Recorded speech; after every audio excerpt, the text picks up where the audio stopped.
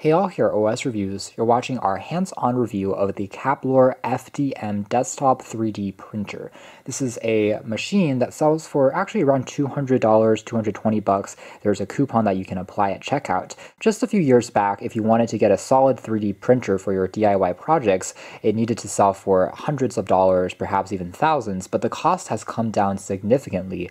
And even now, a $200 printer doesn't seem all that shabby at all. In fact, this version here works with both both PLA and ABS plastics. The heated bed is used for ABS to allow it to stick onto the bed more easily when printing. It takes filaments, uh, which is the printing material, of 1.75 millimeters. Otherwise, the entire unit is made out of aluminum. We have a small LCD display, and you can use it for various projects, different models that you may want to build, and we'll take a closer look at that later on in this video. So here's the very large box. It actually weighs more than 21 pounds. And on the inside, we have the user manual. We also have the assembly steps for putting it together. We've got some accessories here to give you a SD card because that's what includes the software and the drivers on your computer for Mac and PC. These are all parts of the machine that you'll have to assemble. This one for filament break detection, and it's a little small chip. We've got a few strands of sample filament to try and uh, make sure the machine is working.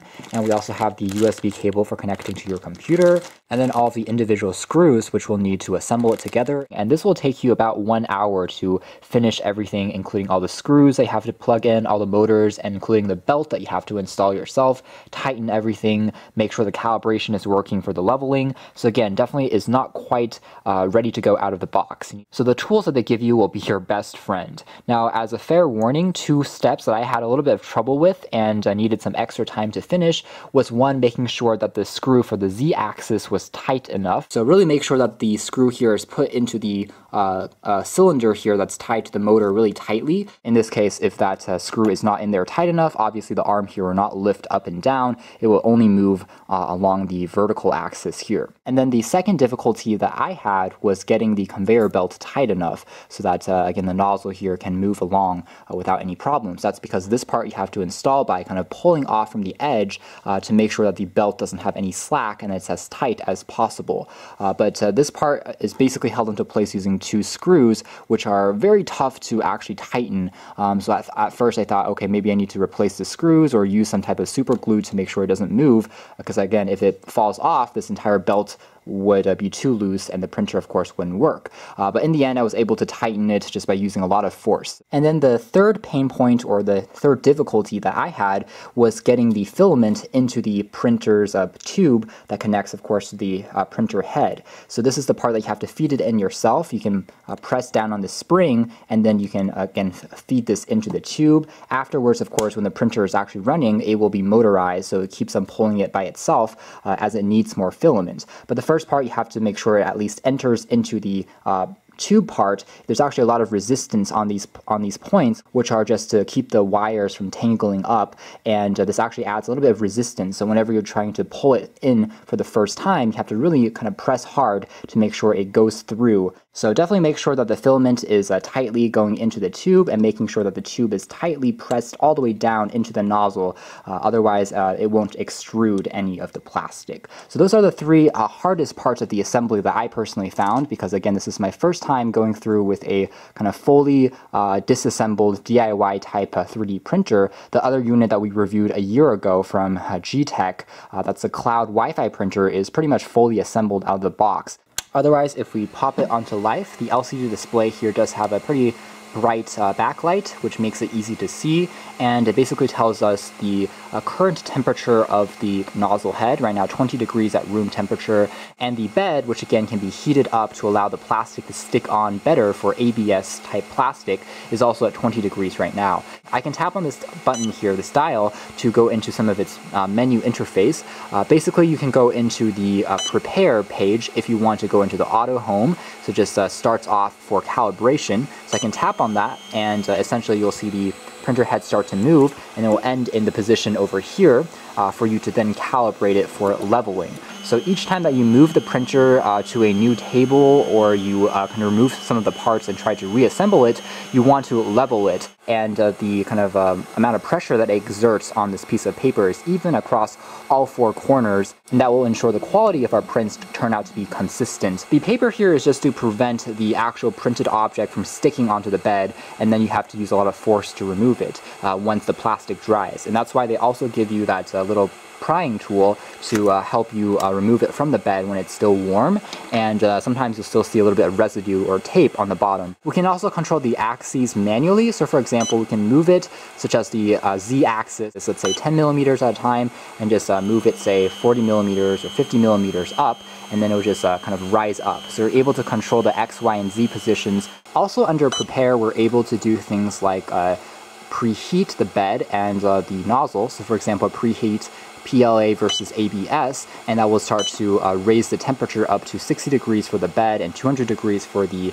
uh, nozzle. We can also start printing from an SD card. The files need to be in G-code format, which is standard for all 3D printers, and afterwards it's able to read all of these, and you can just simply tap on one, and it just begins a print. So let's do a quick sample next.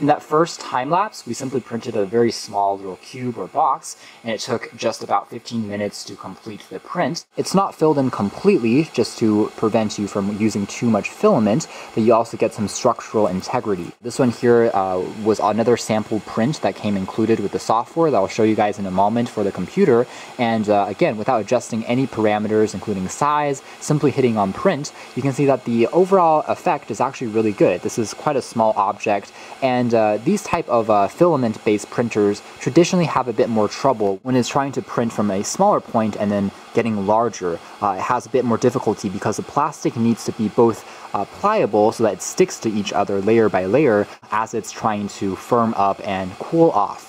Uh, as such, you can see that if it's trying to go up and print up from difficult angles getting larger, uh, there can be a little bit of roughness. But otherwise, if you have more of a uh, thicker point that's moving inwards, the uh, angles and the edges are still extremely detailed and impressive looking.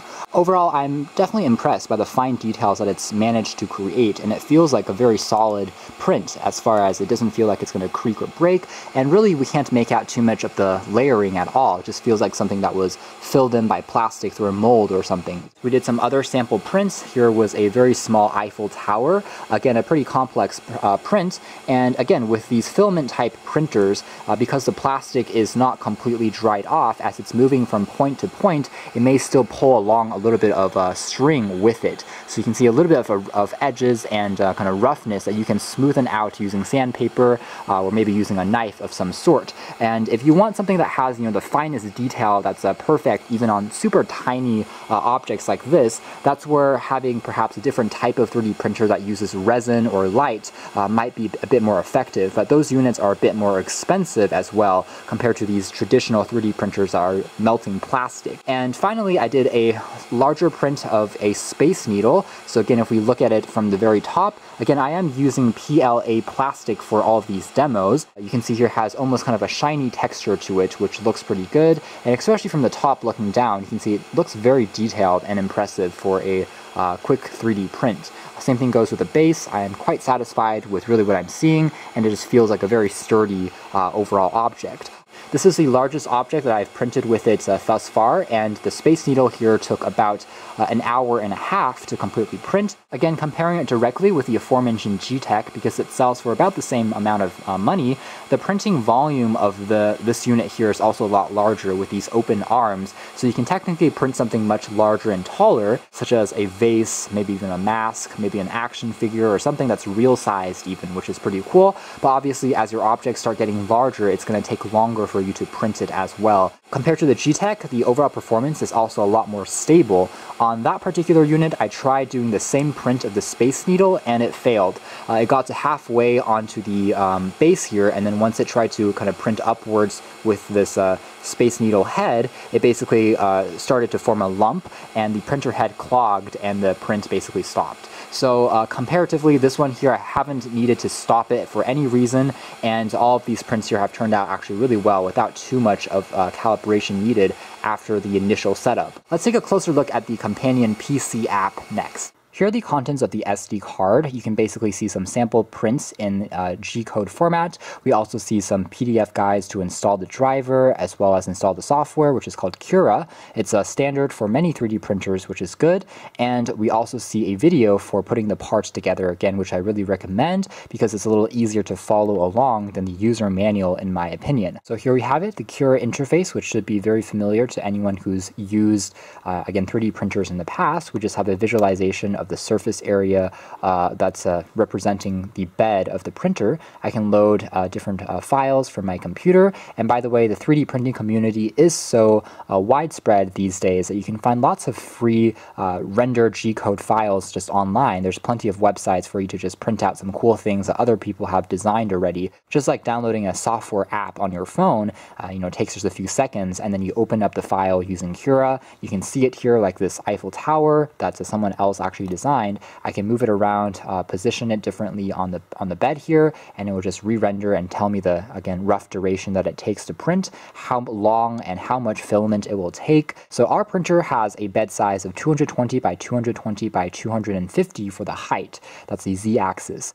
We can also do things like check out uh, different types of layering, like for example, uh, if we want to look at it like a transparent objects, we want to look at all the different layers. You can see it's a rendering here in real time and how the printer actually will go about and print it, uh, and we can see the different layers, uh, you know, going up one by one uh, which is actually very cool. So that's more or less it as far as our hands-on review of this Cablor 3D printer. Again, for only around $200, I think that it's a great value if you're looking for a unit that performs really well. Maybe not going to give you uh, industrial accuracy if you do want something that has, you know, 100% details uh, if you're looking at super tiny prints. But overall, as far as these more traditional plastic-based uh, 3D printers are concerned, which melts, again, the uh, filament as it's uh, being fed through, I do think that the performance is much better than what you're paying for. Just a very fun product in general to try out and to use. And I think now that the price is so affordable, it really is something that's worth taking a closer look at, even for those that maybe haven't been as interested in 3D printers in the past. Just because now, if you think about it, it's cheaper than even uh, a mid-end smartphone these days. So be sure to check out more details in the links down below. But for now, that's been our video. Thanks for watching here at OS Reviews. That's been the Cablor 3D printer.